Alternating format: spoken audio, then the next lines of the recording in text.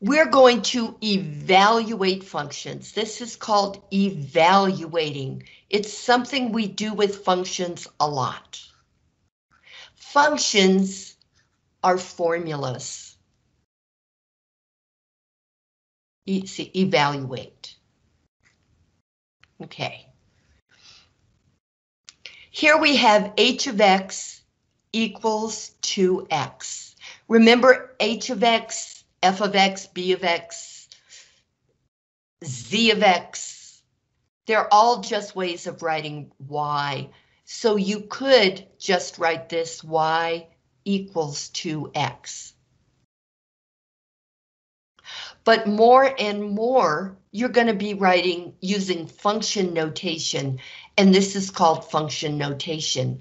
And remember you say h of x. It doesn't mean that h is being multiplied by x.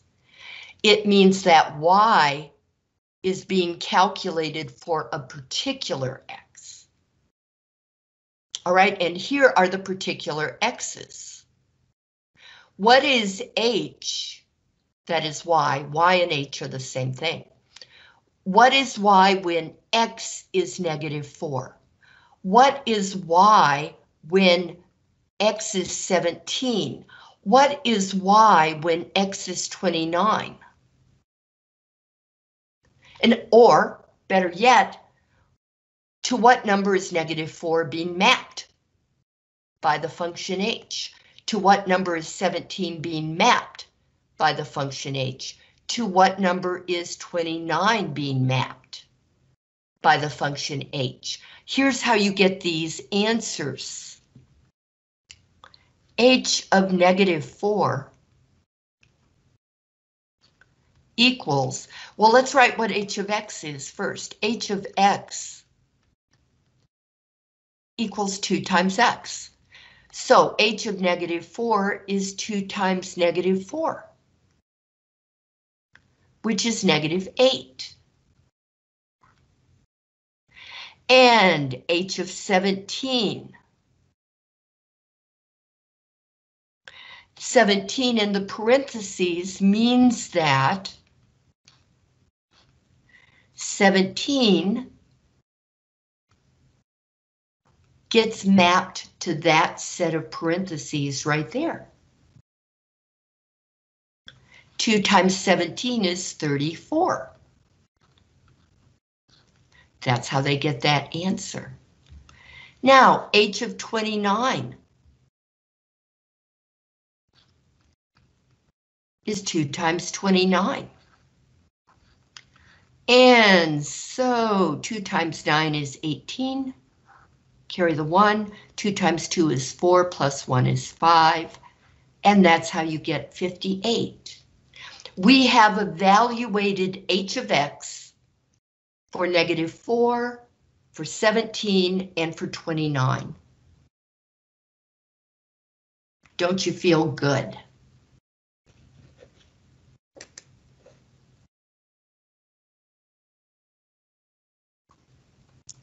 We're going to do more evaluating now. Here we have a function k of x. It's just a function, and what this means is y equals 8x plus 4.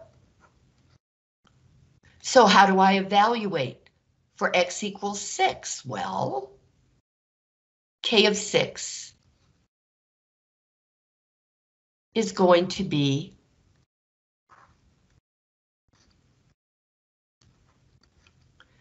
the 6 goes in where the x is.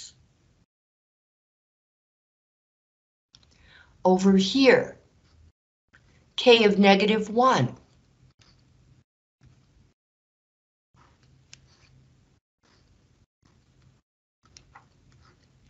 Negative 1 gets put right here, where the x was. K of 6.8. I'm going to have to finally drag out my calculator, maybe.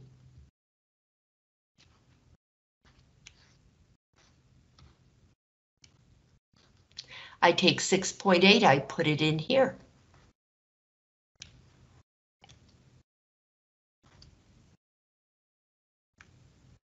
Okay, well, 8 times 6 is 48, right? Plus 4 is 52. 8 times negative 1 is negative 8. I should be writing that down. Negative 8 plus 4 is negative 4. And because you want to remember your order of operations also. You multiply and divide before you add and subtract. So 8 times 6 is 48, plus 4 is 52. Okay, now this, well, I mean, we could do this. 8 times 8 is 64. It, nah, let's, it's time. It's time. Let's do it.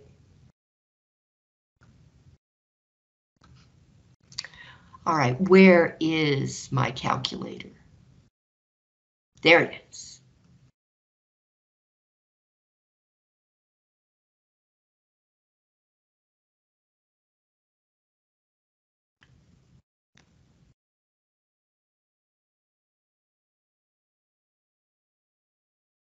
This is the TI Smart View, and you can get it for 90 days um, free from TI if you go to the Texas Instruments website um, or, or type in TI Smart View. I'm about to run out of my free subscription, so I'm going to hope I can re-up again. They let, re let me re-up free a second time. Use your uh, NWAC email to do it because they're doing this free to students and teachers. Okay, so what am I doing here? This is going to be 8 times 6.8 plus 4. Let's make this big and clear it.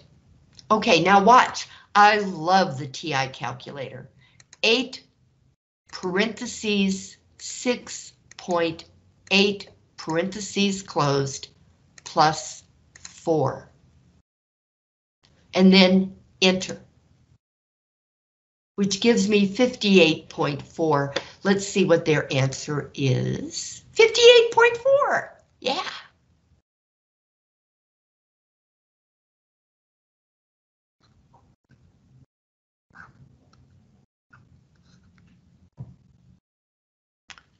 So yeah, you can do it on your calculator. Now, okay.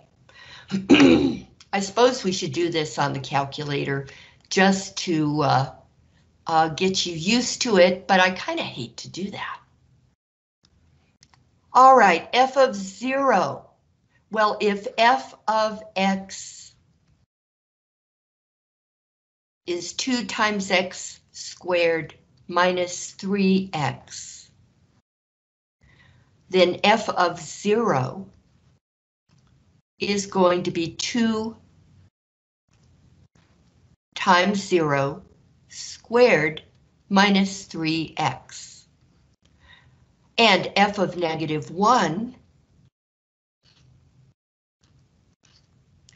is going to be 2 parentheses squared. It's just the x that's being squared. So whatever goes in the parentheses will be squared, but not the 2. Whoops, look what I did.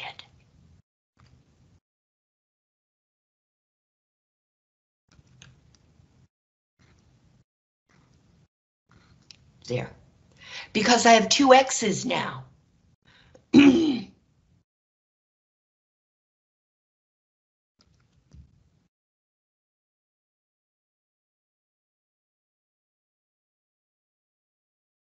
Okay, so I put negative one in for the x's, but it's especially important, especially if you're going to use your calculator, to make sure that negative one is in parentheses. I just always put numbers in parentheses when I'm plugging them into functions. Okay, f of 2 equals 2 parentheses squared minus 3 parentheses. Now I put the 2 in and the 2 in. All right, so there's a technicality that some of you may know and some of you don't, but there's really no, well, zero squared is something very special in math. We're not going to talk about it here. If you've had calculus, you know about it. Um, but we just think of it as being zero, so don't worry about it. Here you're going to have 2 times 0, um, 0 squared, which you can think of as being 2 times 0, which is 0, minus 3 times 0, which is 0, so you'll have 0 minus 0, which is 0. Here, very important. Negative 1 squared is negative 1 times negative 1. So let's write it down the way it is. 2 times negative 1 times negative 1 minus 3 times negative 1. Negative 1 times negative 1 is positive 1. This is if you're doing it by hand. 2 times 1 minus 3 times negative 1. You've got a negative 3 there, you're multiplying by a negative 1, that will give you a plus 3. So 2 times 1 is 2 plus 3 is 5. Let's put it in the calculator because negative numbers are probably safer to do in the calculator. Okay, so let me see what this is. I'm going to type it in and then I'll make it bigger for you.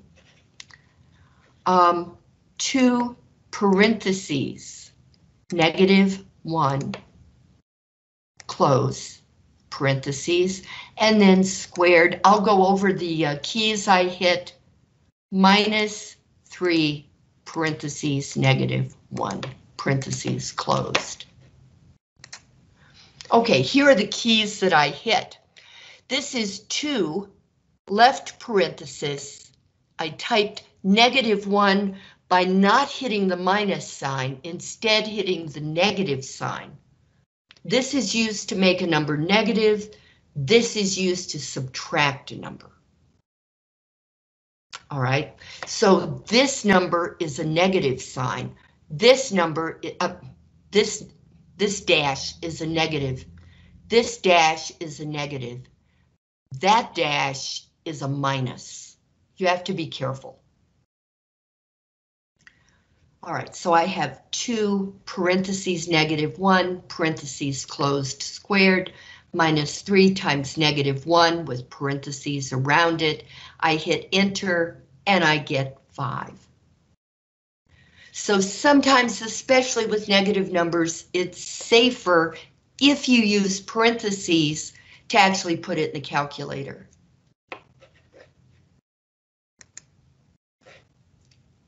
And then what have I got? Well, this is going to be 2 times 4.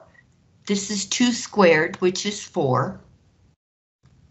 Minus 3 times 2, that's minus 6. 2 times 4 is 8 minus 6.